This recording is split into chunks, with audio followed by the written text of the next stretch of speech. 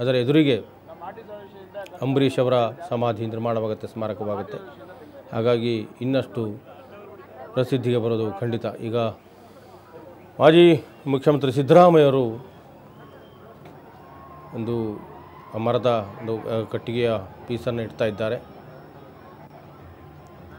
ಕೆಲವು ಬೆರಣಿಯ ತುಂಡುಗಳು ನಾನು ಆಗಲೇ ಹೇಳಿದ ಕೆಲವು ಚಕ್ಕೆಗಳನ್ನು ಇಡ್ತಾರೆ.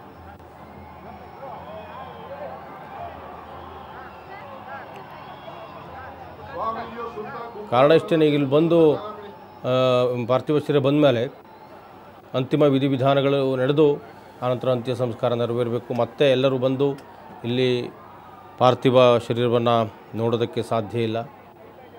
ಹೀಗೇ ಎಲ್ಲರೂ ಒಂದು ಸಾಂಕೇತಿಕವಾಗಿ ಒಂದೊಂದು ಕಟ್ಟಿಗೆ ಪೀಸು, ಒಂದೊಂದು ಮರದ ಚಕ್ಕೆ ಇರ್ಬೋದು, ಬೆರಣಿಯನ್ನು ಇಟ್ಟು ಅಂತಿಮ ಶ್ರದ್ಧಾಂಜಲಿಯನ್ನು ಸಲ್ಲಿಸ್ತಾರೆ.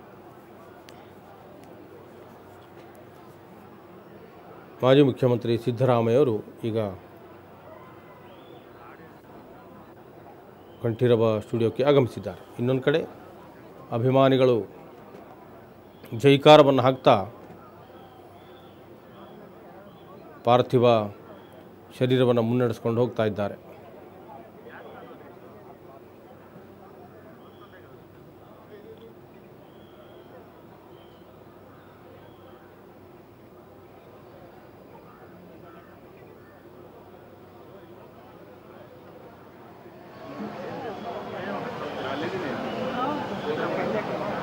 Thank